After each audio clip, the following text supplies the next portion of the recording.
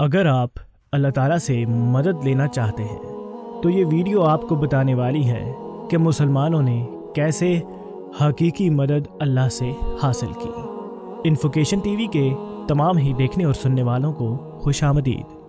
मुसलमानों और कुफ़ार के दरमियान जो पहली जंग हुई, उसका नाम गजवा बद्र है।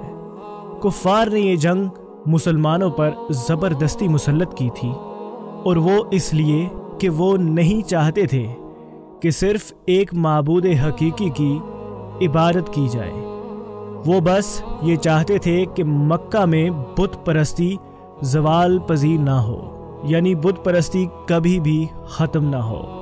और पूरी अरब कौम बुत परस्त ही रहे, क्योंकि यही उनके अबाव अजदाद का दीन हुआ करता था।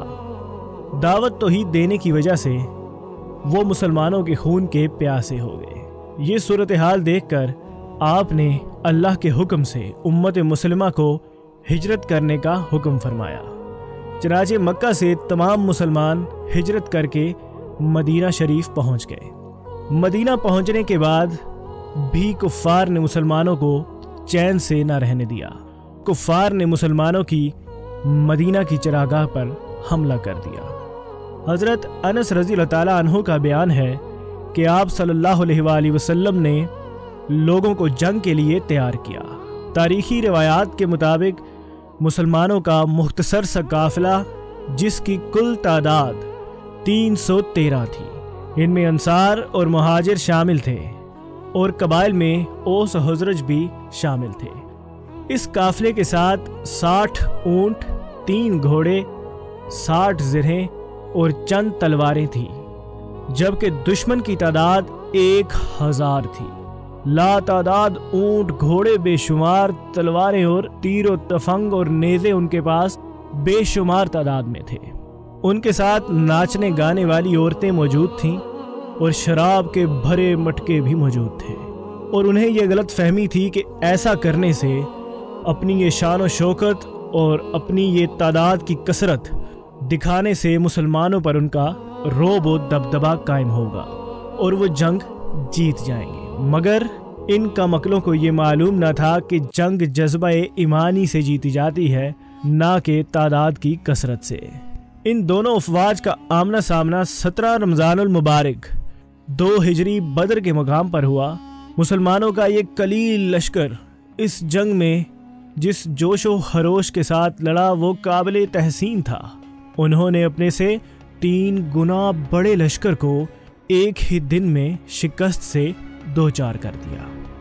इस मैदान में तारीख इंसानी की, वो मारूफ जंग लड़ी गई, जिसे कुरान पाक ने फैसला कुन मार्का करार दिया और इस दिन को योमुल फुरकान कहा। जंगे बद्र में अल्लाह पाक ने मुसलमानों की हर तरह से मदद फरमाई। जिसमें तीन सूरतें तो इंतहाई वाजे हैं कि अव्वल तो अल्लाह पाक ने मुसलमानों के दरमियान फरिश्ते भेजे, जिससे कुफार के हौसले पस्त हो गए और वो भूखलाहट का शिकार हो गए।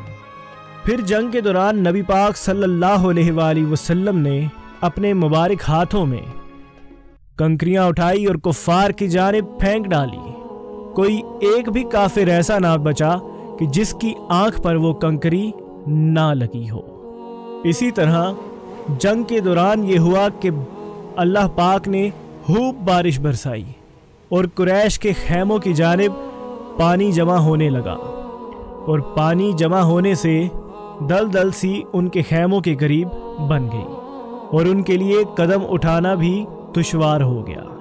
और इधर, रेतला रास्ता होने से मुसलमानों के कदम मजबूती से जम गए। और पानी पीने का भी इंतज़ाम हो गया।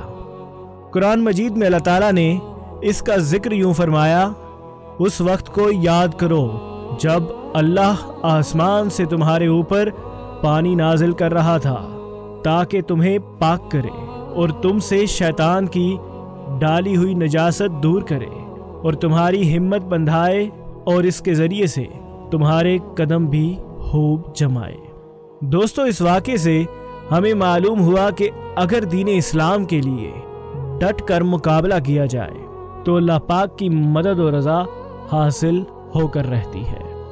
अल्लाह पाक से दुआ है कि अल्लाह पाक कामिल ईमान अता फरमाए। आमीन, सुमा आमीन।